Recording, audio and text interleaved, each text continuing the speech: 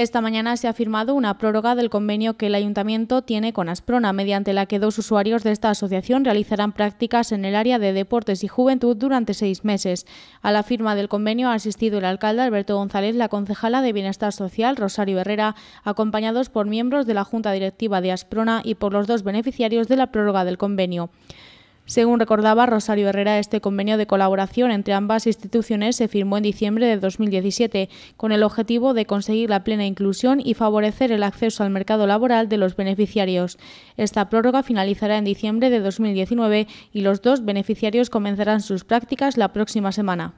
Como digo, en diciembre del año pasado se firmó entre el Ayuntamiento de Villarrobledo y, y, Asprona un convenio de colaboración que daba pie a que eh, se hicieran prácticas, eh, los chavales de Asprona hicieron prácticas en el ayuntamiento, prácticas de, bueno, pues en los distintos servicios, porque entendíamos, igual que la asociación, que entendíamos que es primordial eh, para lograr la plena inclusión hacer prácticas en algún sitio, y en este caso en el ayuntamiento, para favorecer el acceso al mercado laboral. Hoy lo que venimos a traer aquí pues, es eh, una prórroga de ese convenio.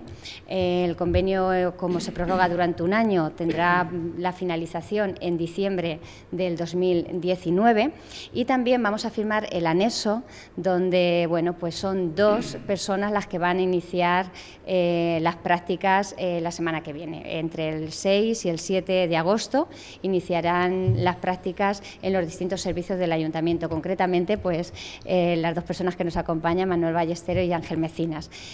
Desde que se firmara el convenio, Ayuntamiento y Esprona, a través de su programa de capacitación, han mantenido reuniones para determinar el puesto que mejor se adaptaría a cada beneficiario, con el objetivo de que estas prácticas consigan el mejor resultado posible.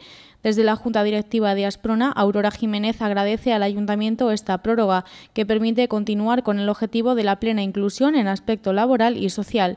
También han lanzado un mensaje a las empresas de Villarrobledo para que se animen a contar con personas con discapacidad en prácticas y contrataciones. Agradeceros muchísimo porque en este convenio esta colaboración nos va a permitir adelantar, continuar con el objetivo básico que tiene Asprona, con uno de ellos que es la plena inclusión. La plena inclusión en tanto en el aspecto social como en el aspecto laboral. Entonces, en el servicio de capacitación, que lleva año y medio mm, dándose aquí en Villarroledo, se está trabajando en esos dos aspectos tan importantes. Que partiendo de esta colaboración, a ver si en este modelo hay otras empresas de Villarroledo que pueden dar el mismo servicio de colaboración. Así que gracias por empezar esta tarea.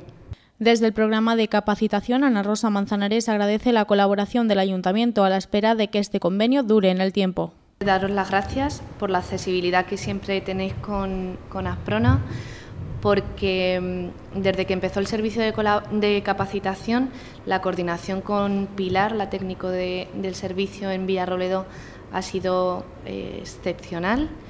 Y bueno, eh, muchísimas gracias por también dar las gracias a los tutores que nos estáis comentando que en ningún momento han dudado tener a personas con discapacidad en prácticas y bueno, que espero que esta colaboración sea por muchísimos años y que en muchísimos puestos. El alcalde Alberto González también ha animado a que las empresas locales tomen ejemplo de este convenio para que personas de esta u otra asociación puedan trabajar en ellas.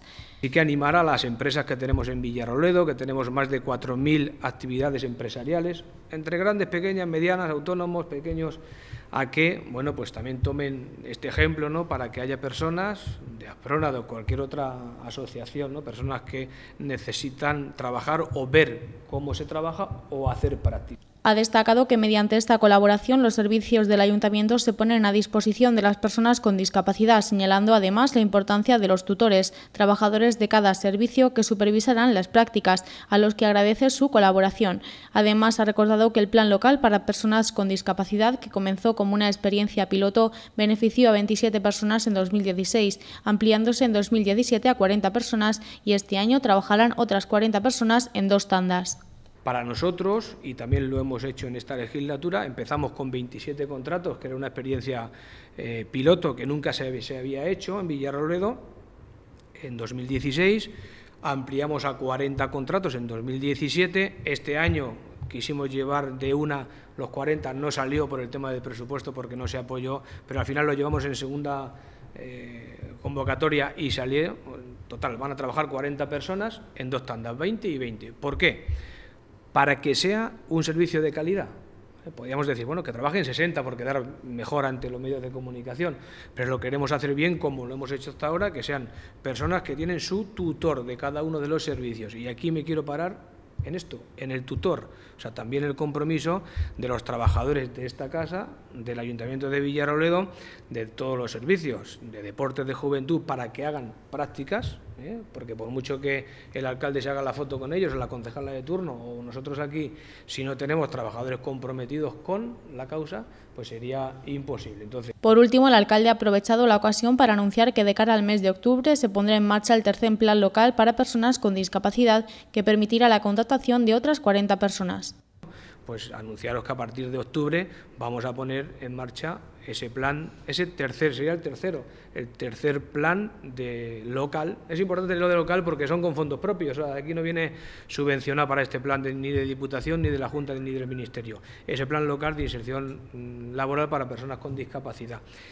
Y el próximo año, pues otro igual, otro de 40.